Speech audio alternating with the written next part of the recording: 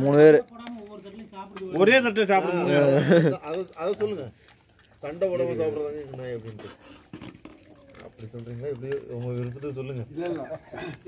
ஆனா ஒருத்தர் முடிச்சுட்டு அடுத்த போகாம பாருங்க. மூணு முடிக்கிறதுக்கு அஞ்சு நிமிஷம் ஆயிரும் மூணு நாய் வந்தா சண்டை கொடுக்காம ஒரே தட்டுல சாப்பிடும். ம். ஆமா. அது? இந்த வந்துட்டாரியா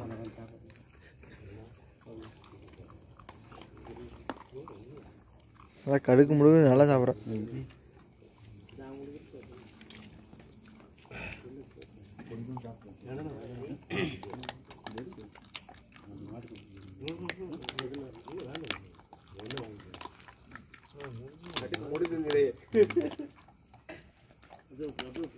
மெதுவா மெதுவா.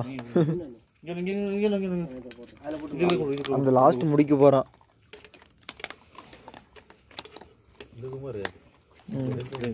சண்டை போடாம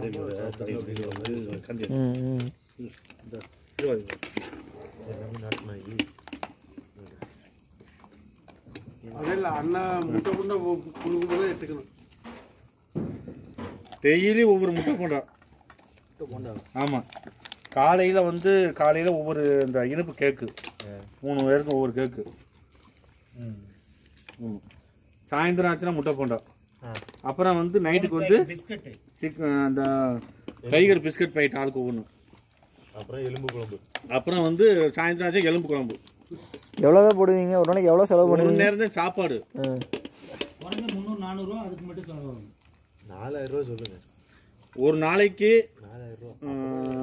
மூவாயிரத்தி ஐநூறுலேருந்து நாலாயிரம் ரூபா. நாய் பக்கத்தில் கட் பண்ணி கட் பண்ணிட்டு அவர் நிக்க சொல்லிட்டு போகுது இது சேவல்களுக்கு பாதுகாப்பு.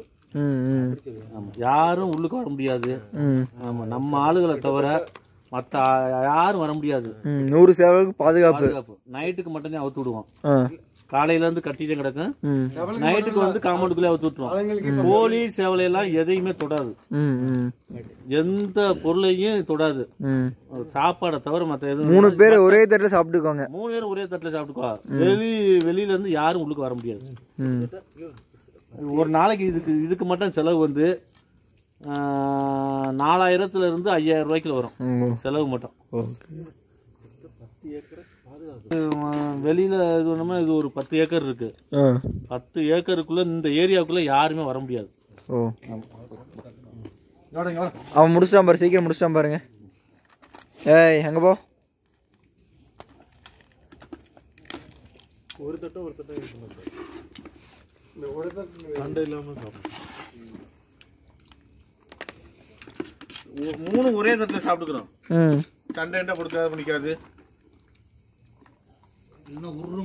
இல்லைன்னா மற்ற நாய்கள்னா கறி சிக்கன் மட்டன்லாம் போட்டோம்னா ஒரு தட்டில் சாப்பிட முடியாது.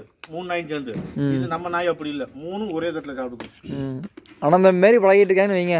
அண்ணன் தம்பியே தான். ஆமா. அப்படிதான் அப்படிதான்.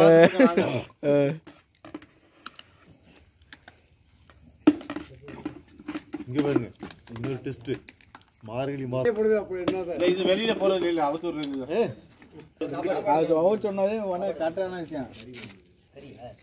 நீ சொன்னது தப்பு. இப்ப நீ கம்முனு இரு. எதையும் தேடி போகுதுன்னா அப்ப